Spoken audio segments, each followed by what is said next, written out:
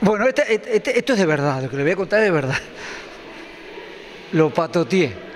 Y le digo, contame un poquito, Darío, cómo va todo esto. Yo sé que no quería, pero bueno, viste el trabajo nuestro, Darío. Eh, bueno, contarlo, Darío. La verdad que está quedando maravilloso. Sí, bueno, buenos días. Fue así, como dice Rulo. Este, eh, sí, estamos muy contentos con la Fuerza Viva, un grupo precioso, se ha armado de unas 10 personas.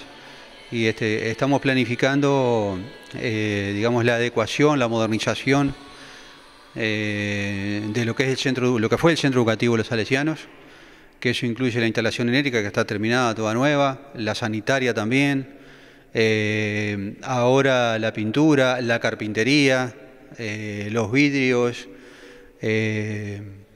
y algo más que ah, el aire acondicionado que en este momento quizás ya, ya deben tomar imágenes.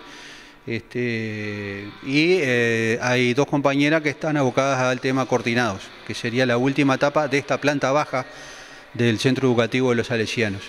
Eh, y después se va a pasar de inmediato hacia los pisos superiores, con albañilería, eh, con pintura, porque la parte de carpintería, vidrio ya está todo en perfectas condiciones. Y bueno, algunos arreglos de humedades, en fin, de, de todo, completo para que, que quede terminado, digamos. ¿Qué, tiempo, a grosso modo, no? Teniendo, teniendo tiempo, teniendo en cuenta que hay mucho trabajo, hay mucho por hacer y también costo operativo.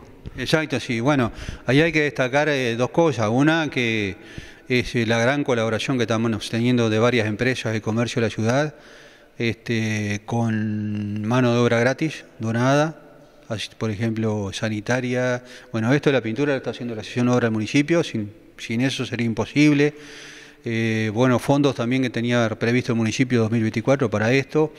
Eh, y bueno, y permanente donaciones. Ahora, por ejemplo, eh, ustedes están viendo la, la, instalación del aire acondicionado. Bueno, este, quien lo está haciendo, que es Eugenio Álvarez, este, que nos presentó el mejor presupuesto, eh, donó la mano de obra de la parte eléctrica.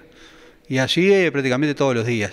Este, Una inversión importante, Darío, ¿no? Hasta ahora. Sí, sí, sí, pero vamos bien en cuanto a lo que planificamos, digamos, eso es lo más lindo, ¿no? Después, eh, la otra parte, la de la sala de espectáculos. El ex teatro que queremos que se transforme en una sala de espectáculos linda, decorosa, agradable ¿Ya han hecho algo ahí? y de orgullo de la ciudad. Ahí eh, estamos esperando, hoy vamos a tener un casi último contacto con el Ministerio de Transporte y Obras Públicas por el convenio. Este, ha estado un poquito retrasado eso, eh, pero ya debería estar en manos del Ministro de Transporte y Obras Públicas para la decisión final. Eh, con eso lo que se quiere hacer es eh, la parte de mm, accesibilidad, los baños accesibles, la instalación hidráulica para la habilitación de bomberos, que ya se instaló una puerta de emergencia especial hacia la calle Juan José de Campomar, la adecuación del cielo raso y la puerta de salida de emergencia hacia el patio. Eh, eso sería la, digamos, una segunda etapa a encarar independiente de esta, que es el centro educativo.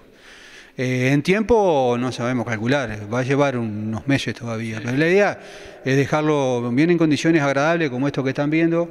Hay que agradecer un montón, por ejemplo, la parte de diseño la hizo la, la casina Estefanía Veroy, notable, se enganchó también con el proyecto, este, está divino, moderno, y así sucesivamente. Los coordinados, bueno, ya están las dos compañeras eh, trabajando y está Arturo también este, tratando de hablar con el director de Cultura, Eduardo Barale, para que eh, los coordinados se hagan en la Escuela del Hogar de Colonia, que hay una profesora muy experiente en ese tema.